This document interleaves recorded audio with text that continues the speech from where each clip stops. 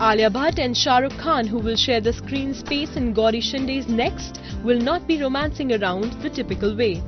According to a leading magazine, the 23-year-old actress will be wooed by Aditya Roy Kapoor, Ali Zafar, Kunal Kapoor and Angad Bedi in the flick.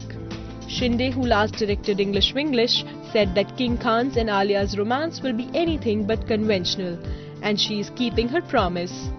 SRK will be a man who helps Alia figure out how to find love in her life and Alia plays a filmmaker who is script hunting for a short film.